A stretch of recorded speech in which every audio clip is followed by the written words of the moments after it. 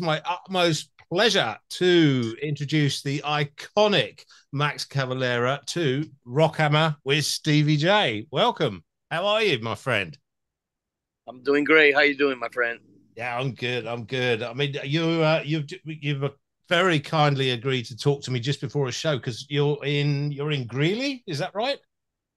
Greeley, Colorado. Yeah. And you're playing the Mox Moxi Theater. That's it. That's it. Yep. Tonight we just uh, played Denver last night. It was fantastic, amazing, amazing energy. Um, a lot of the shows on this tour is just high energy, man. It's great. Just like uh, I feel like a young young teenage Max Cavalera. All of a sudden, it's like I feel like I'm 17 all over again. It's so great. I don't know how you keep up with it because I, I, checked your schedule and like, uh, oh sorry, schedule, uh, schedule. Um, you did 26 shows in February. There's only 29 days in February. Right. yeah. Take my hat off to you. That's absolutely incredible. Hey, it's uh, it's it's just when you feel the energy of the crowd and and and the whole uh the, the whole thing with with go ahead and die is to me so cool because I get to jam with my son and uh we get to travel as a, as a family. You know, I have you know Gloria traveling with me. We have, you know Igor uh, sharing the stage with him is fantastic, and and uh, I, for my uh, my mind, I mean, go ahead and I one of the rawest things I've done forever. It's that original old school raw punk metal that I grew up loving it and couldn't get enough. And where you get to put both of those styles and go ahead and die and, and mix with the uh, a lot of the uh, you know political protest kind of lyrics. Um, it's perfect, you know. It's a, it's a it's a release of anger, energy, uh, violence. It's great, you know. Yeah, no, it, it really is on every night basis music to scare the crap out of your grandma, as we say on this show. yeah, you know, and and this tour specifically is it's to me it really interesting, and it's a humbling experience because it's all smaller venues. Uh, so we're going with no barricades and um, people really close to you. You get to like shake hands with the fans and um, joke with them and and I kind of like uh, at this point in my career to experience something like this. It's quite, it's it's it's uh it's a humbling and and also kind of challenging a little bit. It's killer. It's like that's why I was telling you. That's why I feel like uh, a teenager again because those shows have that feeling, and it's quite a different crowd too. I noticed from the usual Soulfly Cavalera crowd, which is a bit older you get all these youngsters coming to see Go Ahead and Die, and uh, they are loving it, man. They love the energy. They love the the sound of it. It's the you know we're going into the future with this, so it's it's it's, it's uh, to me I'm just loving it. I'm just really enjoying. Um, still in love with metal more than ever. Uh, this tour actually like makes me fall in love even more uh, with with the whole concept of of, of how powerful riffs and headbanging and your exchange of energy with your audience can be all about.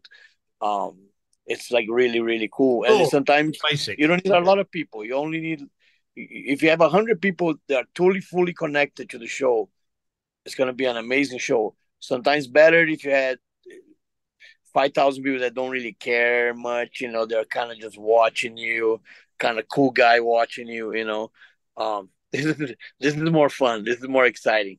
Yeah, yeah, because you uh, you love touring, don't you? You love live stuff. You always have done. Uh, yeah, it, it's one of those things you kind of learn to to love and and um of course like it, it, when I was a kid, it was a dream to tour for, for many years, you know, we were like only dream of touring out. It's like it's like the thing that you dream about it that maybe one day we get to have a bus, we get to have um, travel the world playing music, and now it's a reality. And I, I'm still in love with touring for from all the all the the visiting places, uh, meeting fans, the the the scenery, the the road, the road itself. To me, is very very much. In, I'm still very much in love with it. Yeah, sure. I mean, I've done my research. Actually, I might be I might be three or four thousand miles away, but you are smack bang in the middle of the USA at the moment. Um, there's a taco bar next door. I just thought I'd let you know that. there, there's a great. We just came from a great Mexican, uh, kind of like grocery store restaurant, um, which was amazing. Uh, me and Gloria, we ate uh, pig's feet. It was oh, great. Wow. very, very metal, very metal. You That's know, very metal. Yeah, I'm uh, a friend of mine. Is where, where, where are you? You're in Europe. I'm in Europe. I'm, I'm on the south coast of the UK, so I just easier wow. easier to say London. I'm I'm kind of underneath London, right on the edge, right on the yeah, edge of the ocean. Well, we're coming. We're coming in June and July. Uh, that was, one of, my, one of my questions. Yeah, are you yeah. are you you've got some uh, Europe dates sorted? Have you? I don't have it. Yeah, with me, I know we're coming. Excellent. that is great. Yeah. Grand. And with Go Ahead and Die, you you recorded that in in kind of lockdown, didn't you, with, with Igor? Was that right? The first one. Yeah. The first record first was uh, during during pandemic. Um, it was like was the release of all kinds of feelings like anxiety, anger, and the whole cabin fever thing. And uh, the second one uh, was in normal times, but I I like it more. I like the second record more. I think it's more mature and mm, more fine tuning of songwriting and the elements. Uh, even the idea what really go ahead and die is uh, that punk metal is even more evident on the second uh, album. Um, We're actually playing the whole second record right now live. We do the whole entire uh, unhealthy mechanism. That's cool. And then we're doing uh, some a bunch of stuff from the first record, and we've been doing lately a cover of Ministry, um, New World Order with the singer of Body Box Harrison, uh, and that came out fantastic too. That's uh, that's a killer cover. I always loved the song. You know, I toured with Ministry with Sepultura back in the day. Uh, that was the album they were touring for, uh, Psalm 69. Um, so yeah, we just put that on a set, and and it, it totally, it's totally kick ass. It's amazing. It's such a fun song. Of course, we made our own punk metal version of it, so it, it's way less industrial than the Ministry one. Yeah. Is is the caveman version of New World Order. It's cool. Fantastic. That is absolutely brilliant. So, um, there's a couple of things I wanted to ask you actually, uh, because you are out there on the scene very much. Is there any? Uh, the metal scene is so diverse now. There's so many uh, bands. Every week when I do a show, I read out a list of bands that I've never heard of before, and I'll be honest. And there's so much good music out there. Is there anybody that's on your radar at the moment that you think, yeah, yeah, they're going to be they're going to be big? I'm not sure about uh, being big, but I'm I'm sure that they're gonna um, make a good splash. Uh, Body Box being one of those bands, they're on tour with us right now. Yeah. Um, they are on Maggot Stomp. Maggot Stomp's got a lot of cool stuff. Um, uh, there's uh Corpse Pile. It's another cool band. You might want to check it out.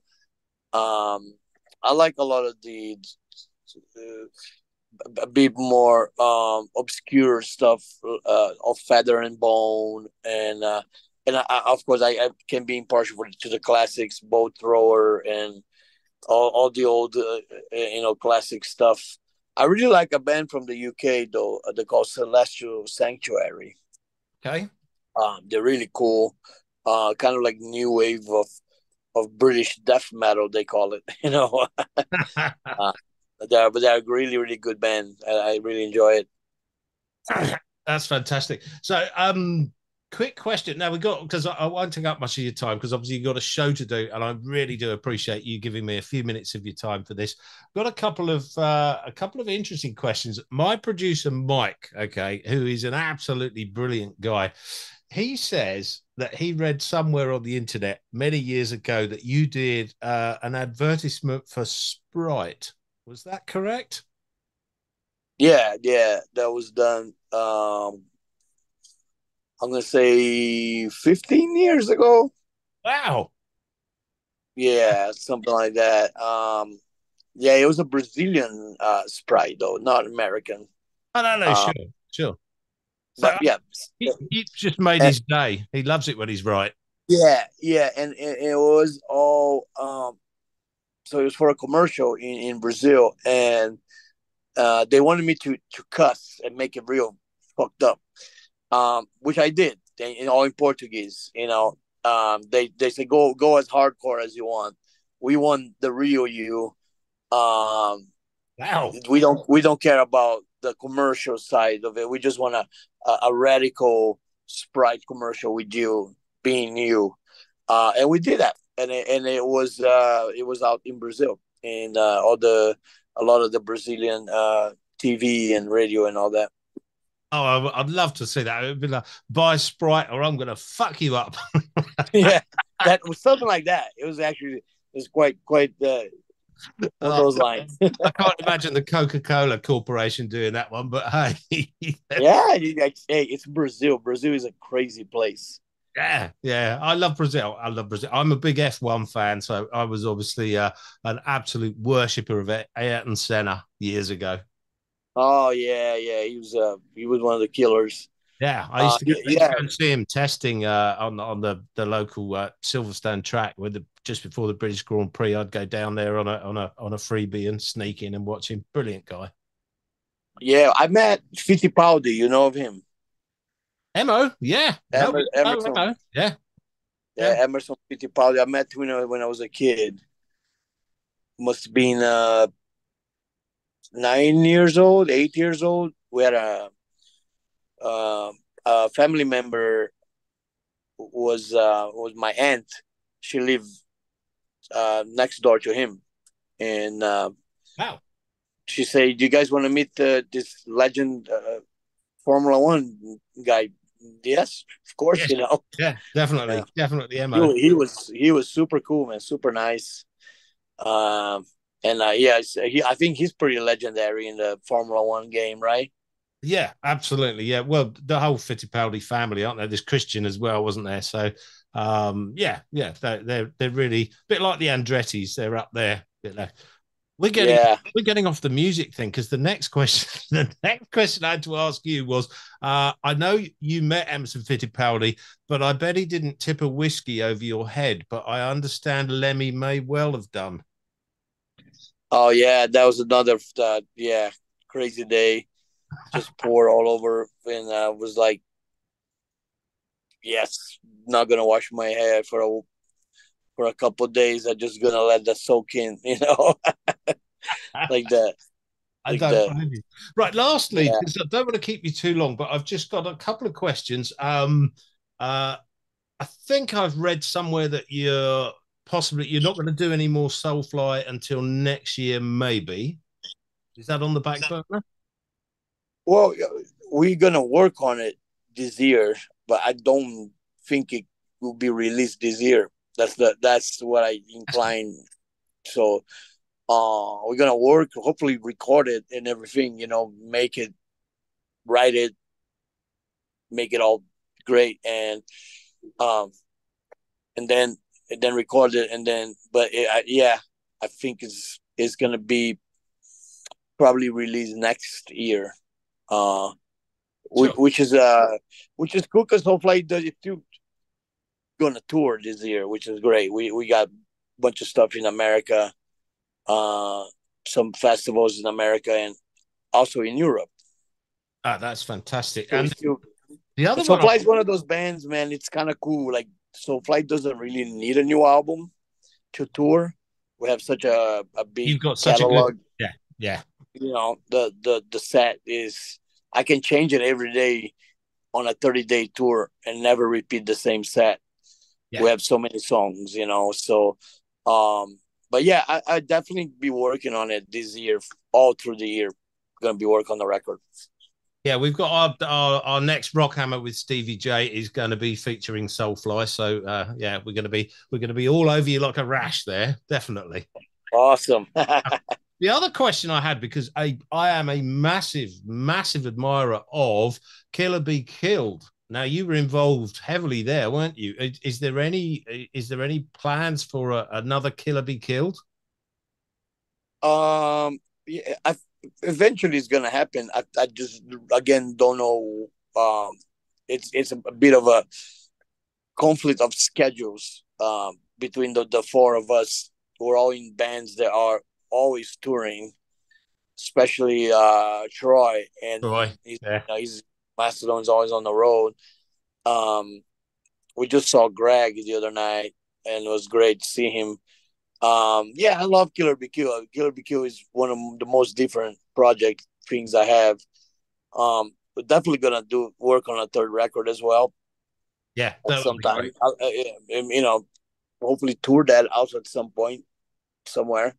Um, yeah, so I, I, I, you know, I love all these things that I get to to to be part of it. You know, go ahead and die, Killer BQ, the Cavalera uh, reissues. Um, playing the old stuff, uh, and then Soulfly my main being my main thing. Uh, got my plates full all the time. You don't you don't do relaxation, do you, Max? Not much. Not much. you rest when you die, as they say. Yeah, yeah, you're dead right. Dead right, if you forgive the pun. Listen, I won't take up any more of your time. You've got a show to do. So thank you so much for everything. You know, I really, really appreciate your time. And I hope to bump into you. If you come to the UK, I'll be there. Thanks, man. Appreciate you. All right, All right I'll, Stevie. I'll be, I'll be, the one in the Motorhead t shirt. Ah, oh, sounds good, brother. You take care and thank you very yeah. much again. All right. Thanks for the support, man. Appreciate it. Bye.